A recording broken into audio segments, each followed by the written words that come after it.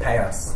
like, no, but real talk, right? Like, so, like, I don't know. Like, I have some friends. Like, a couple of my friends recently have gone to CSM, um, and I'm really, really proud of them. They're black. They're from my council estate. It was a huge journey for them to get here, and you know, they're coming here as like a mature-ish student. I don't think 22 is mature, but like, you know, they, we're still kids. Um, but like, and then they come here and they're super excited, and then they get this shock when like the industry doesn't want them, and when the industry won't listen to them, or when the industry will tell them actually like you can't design like this because this was in last week or this was in last year, but they commodified that trend. Like sorry, gold hoops was when we were interested in you last year, and it's like I think the industry, in order to start doing stuff for us and bodies like ours, just has to put us at the not even on the table, but at the head of the table, like because if we're not running it, then all that's going to happen is bad representation of it. Like, where are our black trans trans people on the table, deciding what to wear, decide what looks good for us,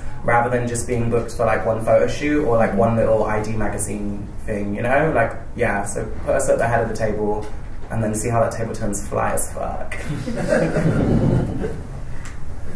yeah, I think that's a valid point. I think um, as a current graduate of um, CSM going through the whole system. Um, it's an amazing um, experience um, within itself. But I think for me, um, I felt as if I didn't identify with a certain group. Um, and the way in which I designed as an artist and a designer wasn't conformed in what they wanted. And so, you know, you're marginalised into a section um, which is so hard to deal with once you get into industry. And I think unless you're, you know, strong enough to actually break the, break the boundaries and actually disregard what the industry say, it can be actually off-putting, um, daunting. And so, as Travis was saying, I think they need, as he said, which is so important, the actual strong people within it, and is, is the actual people us. Mm-hmm. Um, I don't think they have enough of us within the industry.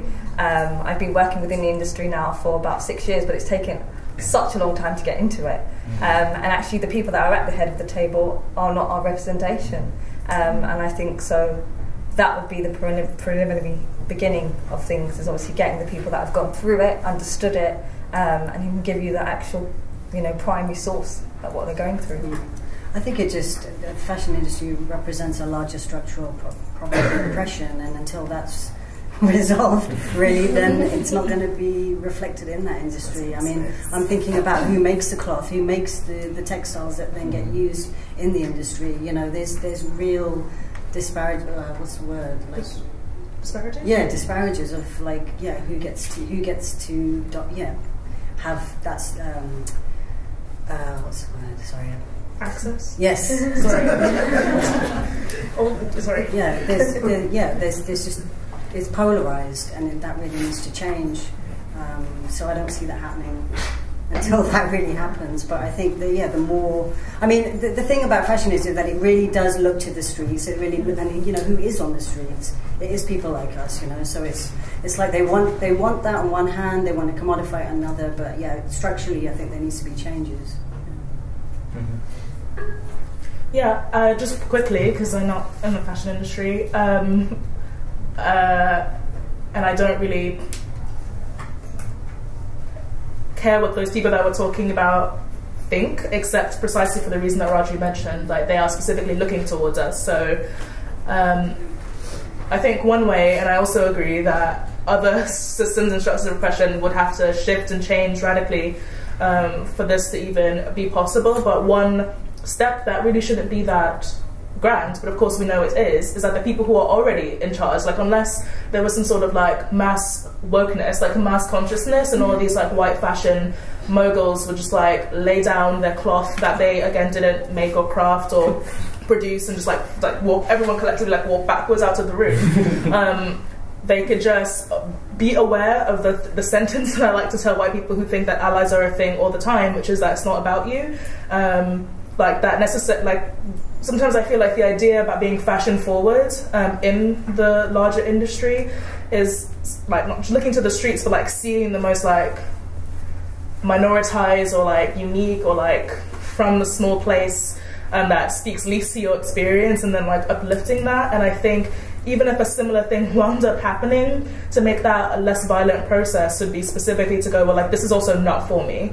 And so to do something as like what Raji was talking about, or like forgive me if I'm like misrepresenting it, but like um, at least being more conscious or aware that the cloth I mean, that's alone like the production of those materials into the fashion industry, but like the thing that is the quote unquote final result um, contains a narrative in it. So if you just learn about what that narrative is or could be, then the fact that you or like a white fashion mogul designer was still like getting saris and putting them on a runway, maybe not putting them on white models, maybe not putting them on cis models, you know, like thinking about, well, the narrative comes from these kind of people. Oh, wait, these people exist. So why don't I just get them to like put on their own clothes and like walk a bit, you know, like I think that, um, granted, they'd still be in power, but it would seed some of the way for their overarching narratives and not have such a heavy hand on the process or the experience. I mean, then it also links to colonialism because Always. it's. Do you know what I mean? That's that's what colonialism is about. It's taking things and, ma- and making them yours. Yeah. And I think